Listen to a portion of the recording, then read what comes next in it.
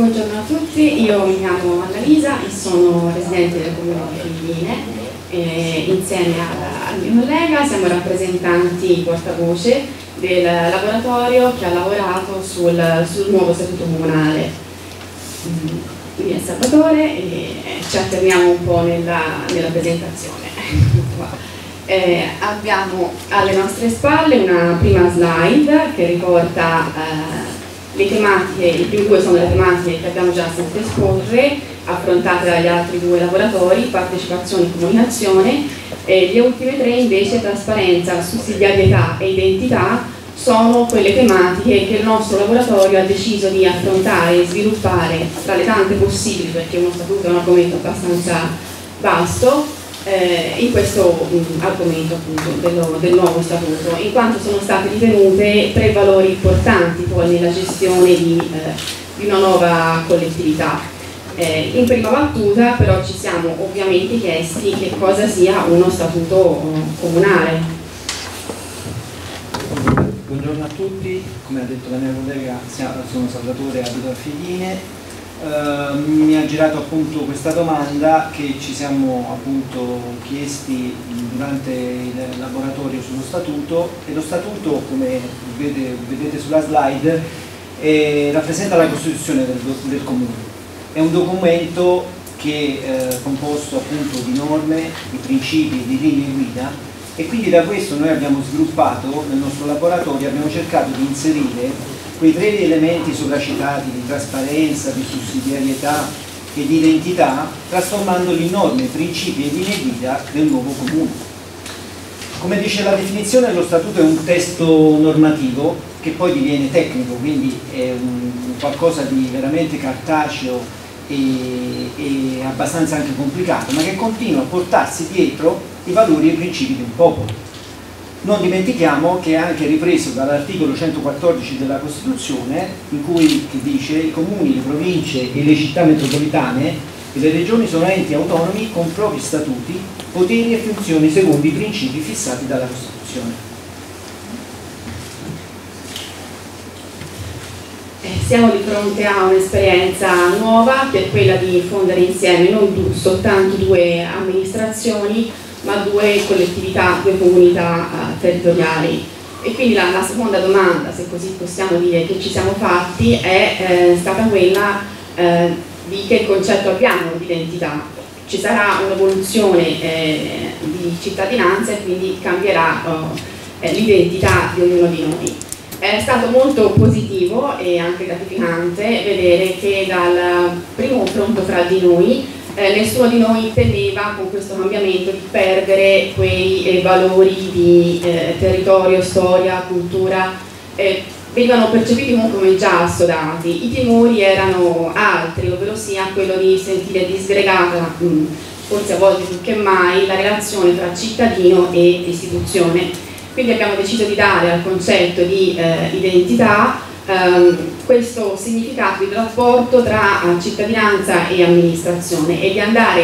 eh, a capire ehm, come questo possa essere ulteriormente valorizzato mh, prendendo questa nuova esperienza come, come spunto. Eh, abbiamo quindi voluto stabilire che questa nuova esperienza non deve essere né la somma di due strutture amministrative né tantomeno un'occasione di destrutturazione, ma anzi un modo per ripensare questo tipo di, eh, di relazione e proprio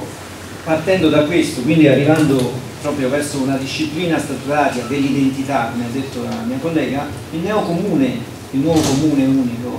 dovrà avere uh, la conoscenza diffusa di tutti i bisogni uh, sul territorio, quindi dovrà avere una conoscenza dei bisogni del territorio attraverso gli strumenti di rappresentanza collettiva quelli che sono le onlus, le associazioni, il volontariato,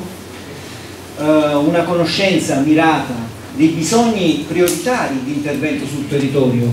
quindi non basterà conoscerli tutti ma sapere anche quelli principali, quelli di prima importanza. Attenzione e controllo quindi dei soggetti erogatori di tali servizi e garantire logicamente un livello eh, di, presidio, di presidio territoriale di questi servizi quindi un nuovo modello vero e proprio di controllo sociale. Con questa premessa eh, si impone quasi il tema di, eh, della sussidiarietà orizzontale eh, citato in Costituzione all'articolo 118 e che eh, significa la collaborazione tra ente pubblico, amministrazione, ente privato ma anche eh, associazione di no profit nel lavoro di risposta ai bisogni eh, della collettività è un tema eh, attualissimo, soprattutto in vista del, della realtà che abbiamo davanti, ovvero sia di un crescente eh, domanda di, di, bisogni e una sempre minor possibilità, sempre minori risorse da parte delle amministrazioni per potervi, potervi rispondere. Quindi la sussidiarietà orizzontale è intesa come un sistema diffuso di erogazione di servizi formato da soggetti pubblici e privati che collaborano con diverse tipologie di relazione per rispondere ai bisogni del territorio producendo così valore pubblico. Nell'ottica di questo obiettivo il nuovo statuto speriamo che eh, intenderà questo sistema mh, mm, di conoscenza dei bisogni si, al fine di, eh, di eh, rispondere eh, alle necessità locali e eh, si promuoverà, il Comune si promuoverà come soggetto attivo nella promozione di questa cultura di collaborazione il Consiglio Comunale definirà quali siano gli ambiti eh, che escluderà da certi sistemi di collaborazione, ovvero sia se ci sono dei settori in cui si vuole mantenere eh, il monopolio pubblico. E, diversamente definirà i livelli minimi di protezione sociale, ovvero sia eh, quali sono i, i bisogni primari eh, a cui rispondere e eh, verificherà ehm, nella scelta di come rispondere a determinati bisogni, verificherà se ci sono operatori di mercato o anche eh, forme di volontariato, associazionismo che eh, sono in grado di rispondere a queste determinate necessità, ehm, stabilendo quali sono dei standard qualitativi per, per poterlo fare. Da qui, da qui ci allacciamo alla trasparenza. La trasparenza appunto mh, non è eh, come può essere intesa come eh, attraverso la, il vocabolo, la parola, non coincide nel soltanto prendere visione di ciò che una, un ente amministrativo, un comune eh, può dare, ma eh, deve essere anche un qualcosa che sia comprensivo per i cittadini. Esempio, oggi andare a visionare, per fare un esempio, un bilancio di un'amministrazione non è facile da decifrare per un comune cittadino. E la nostra nuova ehm, maturata nel, nel laboratorio, la nuova idea di trasparenza è dare un'informazione mirata, vera e propria, tra cittadino e nuovo comune, dove si interloquisce con dati certi, essenziali, quindi abbastanza sintetici, per una facile lettura sia qualitativa che quantitativa del, della gestione del territorio e dei servizi. Quindi secondo noi è trasparente un'amministrazione che garantisce la comprensione di, queste, di, questi suoi atti, della sua organizzazione e del funzionamento della sua organizzazione, dei programmi, dei risultati e delle informazioni rilevanti per il cittadino. Quindi la trasparenza alla fine non è un fine, ma è uno strumento per valutare, per decidere e per fruire i servizi per contribuire alla scelta dell'amministrazione.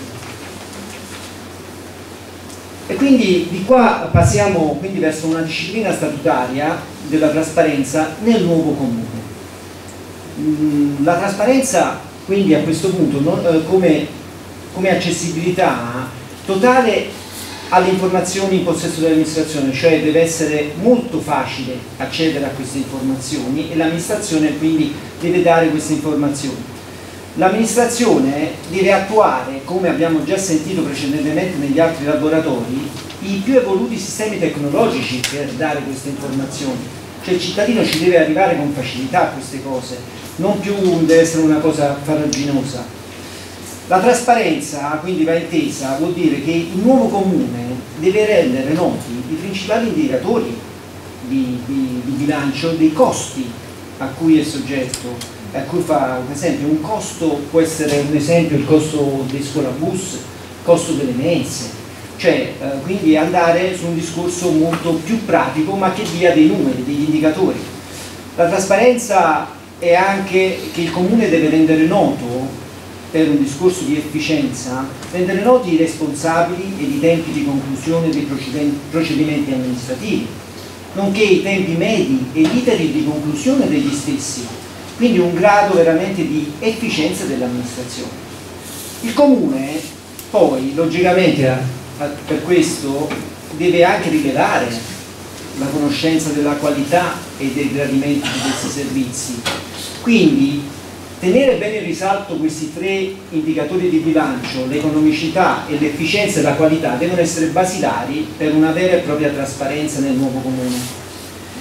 A questo punto io concludo e ci teniamo comunque a ringraziare soprattutto il nostro caro Valerio Iossa che ci ha dato un grosso contributo, una grossa mano e ci ha permesso veramente di fare questa presentazione anche perché ve ne sarete accorti questo argomento il laboratorio sullo statuto era un po' quello più eh, diciamo tosto, tosto se lo vogliamo dire proprio in, in versione scolastica. scolastica. Grazie a tutti.